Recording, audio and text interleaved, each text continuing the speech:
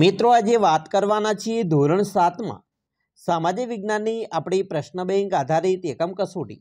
તારીખ ત્રેવીસ બાર બે હજાર ત્રેવીસના રોજ જે લેવામાં આવી છે, તેનું મિત્રો સંપૂર્ણ પેપર સોલ્યુશન કરીશું. ખાસ તમારી આવનારી દ્વિતીય પ્રિલિમ પરીક્ષામાં પણ તમને ખૂબ જ ઉપયોગી નીવડશે. ચાલો વિદ્યાર્થી મિત્રો, આપણે ફટાફટ સોલ્યુશન કરીએ તમારું. મિત્રો, પ્રશ્ન એક છે. નીચેના પ્રશ્નો માટે આપેલ વિકલ્પમાંથી સાચો વિકલ્પ શોધીને ઉત્તર લખવાના છે.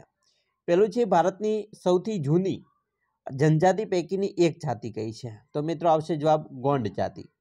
બીજું, અકબરના સેનાપતિ માનસી કઈ જાતિ પર હુમલો કરી તેની પરાજિત કરી હતી? તો ચેર જાતિ. ત્રીજું, આદિ એટલે જૂના સમયથી અને વાસી એટલે વસવાટ કરનાર.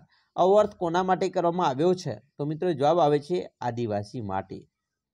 ચોથું, ભારતની સંસ્કૃતિનું જતન કરનાર સમૂહે કઈ સંસ્કૃતિનું જતન કરેલ નથી? તો આવશે નગર સંસ્કૃતિ. પાંચ, જનજાતિના લોકો સાની પર સંયુક્ત રીતે નિયુ- નિયંત્રણ રાખતા હતા, તો જમીન અને જમીન પેદાશ પર. મિત્રો, ખાસ કરીને તમારા આખા પેપરનું સોલ્યુશન જોવું હોય તેના પહેલાં ખાસ ચેનલને લાઇક શેરને સબસ્ક્રાઇબ કરવાનું પણ ન ભૂલતા, જેથી કરી અમે તમારા ધોરી સુધી ધોરણ સાતના તમામ વીડિયો મોકલતા રહીએ. છઠ્ઠો પ્રશ્ન છે, ઉત્તર ગુજરાતના આદિવાસી પુરુષોને ઘર પહેરવેશ શું હતો? તો ધોતીઓ ખમીસ. સાતમું છે, હાલના સમયમાં શાના કારણે આદિવાસી સમાજમાં પરિવર્તન આવ્યું છે, તો શિક્ષણના વ્યાપના કારણે. આઠમું છે, જનજાતિનું જીવન મુખ્યત્વે કઈ પ્રવૃત્તિ પર આધારિત હતું? તો જવાબ આવશે પશુપાલન. નવ ગઢકંડંગા રાજ્યે શેના વ્યાપાર દ્વારા પુષ્કળ ધન મેળવ્યું હતું? તો હાથીઓના વેપાર દ્વારા. દસમું છે અહોમ લોકોએ ક્યાં પાકની નવી પદ્ધતિ શોધી હતી? તો મિત્રો ચોખાની અગિયાર, કઈ ઐતિહાસિક કૃતિની પહેલાં અહોમ અને પછી આસામી ભાષામાં લખવામાં આવી હતી? તો જવાબ આવશે બુરંજી બાર, આદિવાસી સમૂહ સાને પ્રેમી અને સંવર્ધક રહ્યો છે? મિત્રો, પ્રકૃતિ પ્રેમી રહ્યો છે. તેર, જનજાતિના સભ્યો નીચેનામાંથી કઈ પ્રવૃત્તિ સાથે જોડાયેલા ન હતા? તો જવાબ હશે ભરત ગૂંથણ. ચૌદ, વર્તમાન ઇતિહાસકારો જનજાતિઓનું ઇતિહાસ લખવા માટે કઈ પરંપરાઓનો ઉપયોગ કરે છે? તો મૌખિક પરંપરા. અને પંદર છે, મુઘલ બાદશાહ અકબરે કોને મનસબદાર બનાવ્યા હતા. તો મિત્રો આવશે જવાબમાં કમાલ ખા ગખ્ખરને હવે આપણે પ્રશ્ન બે ઉપર જઈશું. જેની અંદર એક બે વાક્યમાં ઉત્તર આપવાના છે. તમને ગમે તે પાંચ લખવાના કીધા છે. પરંતુ આપણે દરેકનું સોલ્યુશન જોઈશું. તમારા પ્રશ્નો દરેક સોલ્યુશન થઈ જશે. પહેલું છે, જનજાતિના સભ્યો કઈ પ્રથાથી એકબીજા સાથે જોડાયેલા હતા? તો કબીલાઈ. બીજું, આદિવાસી સમૂહ કોની ઉપર શ્રદ્ધા ધરાવે છે? પ્રકૃતિના તત્વો અને દેવી દેવતાઓ પર. ત્રીજું, હાલ આદિવાસી સમાજમાં કેમ પરિવર્તન આવ્યું છે? તો મિત્રો, સરકારી યોજનાઓ, શિક્ષણનો વ્યાપ અને તકનીકી વિકાસના કારણે.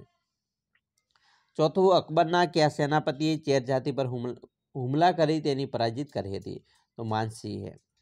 પાંચમું છે, તેરમી અને ચૌદમી સદી દરમિયાન પંજાબમાં કઈ કઈ જનજાતિ મુખ્ય હતી? તો મિત્રો, ખોખર અને ગખર છઠ્ઠું છે, આદિવાસી શબ્દનો અર્થ થાય છે. તો મિત્રો, આદિવાસી એટલે જૂના સમયમાં વસવાટ કરનાર. એવો થાય છે. સાતમો પ્રશ્ન મિત્રો છે, ભારતમાં આદિવાસીઓની કઈ કઈ બાબતો તેમની આગવી ઓળખ ઊભી કરે છે? તો મિત્રો, વિવિધ ઉત્સવો, રૂઢિ પરંપરાઓ, ખોરાક, પહેરવેશ, બોલી, ચિત્ર વગેરે, સંગીત, નૃત્ય અને કલાઓ વગેરે છે. આઠમું છે, પાઇક કોને કહેવાતા? મિત્રો, જે લોકો પાસે રાજ્ય માટે બળજબરીપૂર્વક કામ કરાતું તેને પાઇક કહેવામાં આવતા. નવ જનજાતિઓ ક્યાં નિવાસી કરતી હતી? તો મિત્રો, જંગલો, પહાડો અને રણ દુર્ગમ પ્રદેશમાં. દસ, આદિવાસી સમુદાયનું જીવન કઈ કઈ બાબતો પર નિર્ભર હતું? તો વન પેદાશો અને સ્થાનિક રીતે થતી ખેતી પર.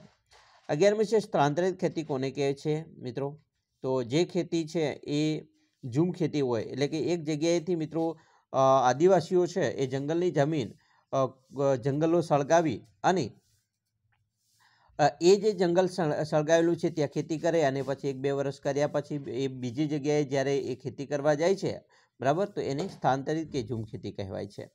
રાજ્ય માટે બળજબરીથી કામ કરતા લોકોને શું કહેવામાં આવતું તો પાઈ કહેવાય. તેરમું છે જનજાતિઓ પોતાની જરૂરિયાત કેવી રીતે મેળવતા હતા? બરાબર? તો જનજાતિઓ છે, પોતાની જરૂરિયાત મિત્રો છે, એ જંગલમાંથી ખેત પેદાશો અને જંગલની અંદરથી મિત્રો મેળવતા હતા. ચૌદમું છે, ભારતના બંધારણમાં આદિવાસી જાતિઓની શામાં સામેલ કરેલ છે. બરાબર? પછી પંદરમું છે, વર્તમાન ઇતિહાસકારો જનજાતિઓ વિશે માહિતી લખવા શાનો ઉપયોગ કરે છે મૌખિક પરંપરાઓનો ઉપયોગ કરે છે. પ્રશ્ન ત્રણ ઉપર જઈશું. પહેલો છે ખાલગ્યા પૂર્ણ કરવાની છે.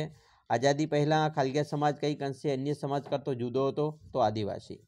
બીજું, ઉત્તર ગુજરાતમાં આદિવાસી સ્ત્રીઓ ઝૂલડી પહેરતી હતી. ત્રીજું, આદિવાસી સમૂહ પ્રકૃતિનો પ્રેમી અને સંવર્ધક રહ્યો છે. ચોથું, ભારતના ઉત્તર પશ્ચિમ ભાગમાં બલુચ જનજાતિઓ સૌથી શક્તિશાળી હતી.